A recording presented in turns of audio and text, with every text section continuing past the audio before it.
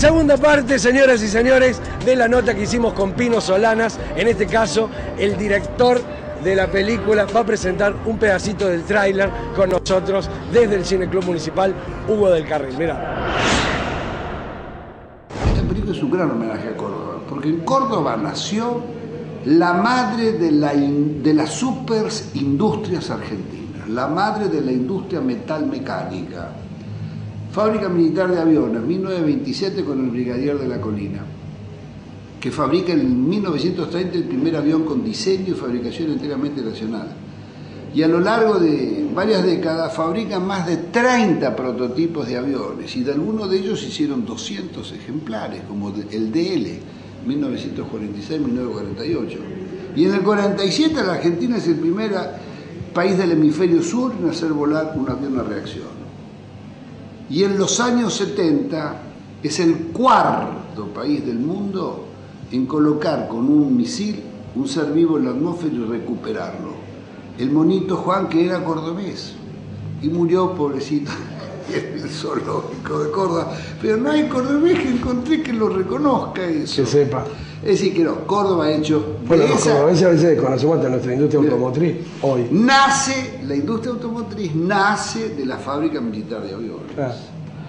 Entonces, este fue el polo de la ingeniería, de la alta ingeniería argentina, con mucho talento. Y acá todavía hay mucho. ¿eh? La fábrica militar de aviones, basta una decisión presidencial y no se renueva el contrato con la Lockheed Martin y la recupera el país. Lamentablemente falta proyecto nacional.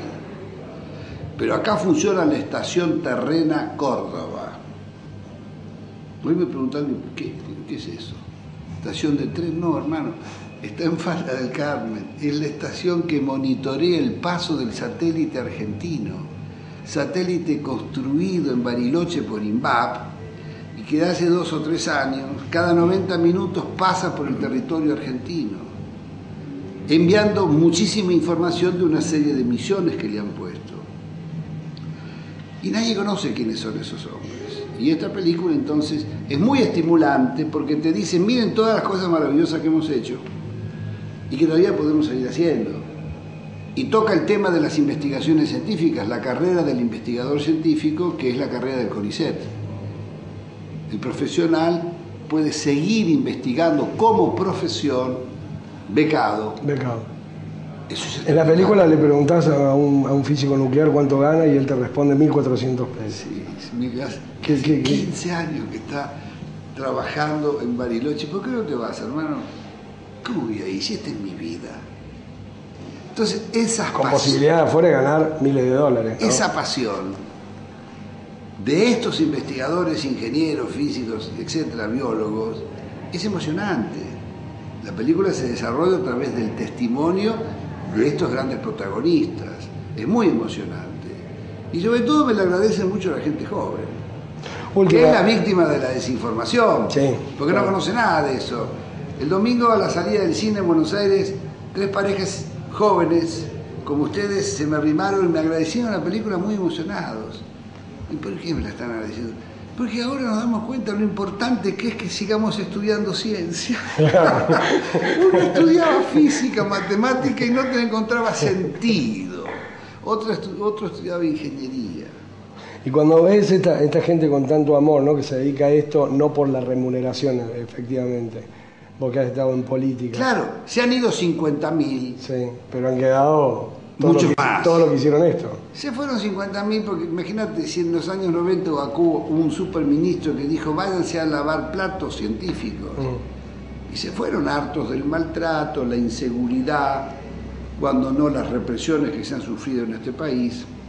Pero son muchos más los que han quedado y con esa pasión de... Esta gente que, tiene ese componente de, ciencia y amor para quedarse. Po- ¿Podemos pensar en políticos que, ingresen a la política o que estén en la política así con esa actitud de servicio? Bueno, seguramente los hay, este, no todos los políticos son malos, ¿me entiendes? Hay políticos honestos con sentido, digamos, más allá de las ideologías con sentido patriótico, porque por ejemplo vos tenés a alguien, un genio en ciencia que fue Bernard Usay. el primer premio Nobel. Era un hombre de derecha, no era un político, pero era un hombre aristocrático, un antiperonista furioso. Gana el premio Nobel y le ofrecen todo para irse a trabajar afuera. Y no se quiso ir nunca. No voy a abandonar a mis alumnos.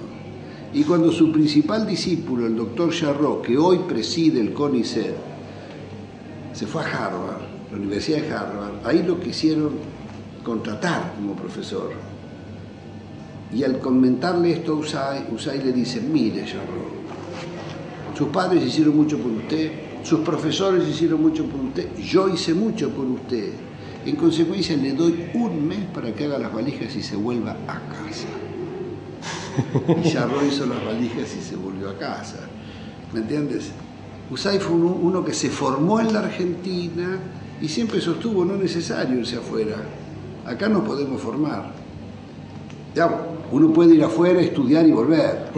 Pero después de todo lo que invirtió el país para formarte gratuitamente, el científico tiene la obligación social de devolverle al país. Más cuando el 90 y pico por ciento se han formado en, la educación pública. Así es. Vamos a presentar juntos el, el, tráiler que está montado en la web pinosolanas.com.ar, vos podés verlo en internet, pero está bueno que lo veas en el programa y que aconsejes que cuando esta película llegue a los Hodgen al cinema, a Patio Olmos, eh, la gente vaya a verla y podamos sentirnos orgullosos de que un realizador argentino haya venido a presentarla acá con un éxito increíble en el Cine Club Municipal Hugo del Carril. Si vos querés decir algo del tráiler, va a salir cuando los despidamos. No, no, no, no. Sí, Creo, creo, que es un buen resumen de algunas de las cosas de la película. Allá.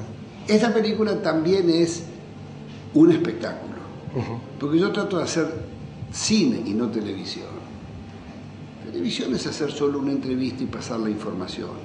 El compromiso de hacer una película, porque si vos estrenás en cine, el espectador quiere ver un espectáculo cinematográfico. Quiero decirte con esto que hay una propuesta cinematográfica, hay una propuesta estética, está bien trabajado todo y la película te entra por los ojos. Y eso lleva mucho trabajo. Yo hago cuatro o cinco veces los montajes de una película como esta.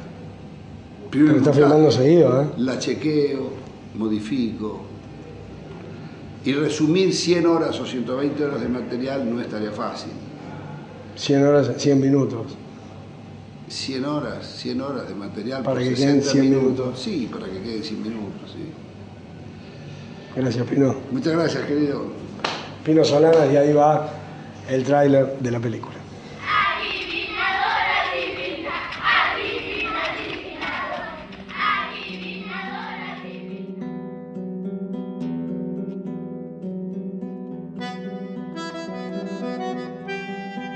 Argentina Latente. Un viaje hacia el descubrimiento de sus capacidades creativas y científicas. Ingenieros físicos y técnicos que a pesar de las dificultades construyeron la Argentina moderna. Este es el del astillero más grande de América Latina. Fabricamos graneleros, petroleros, buques militares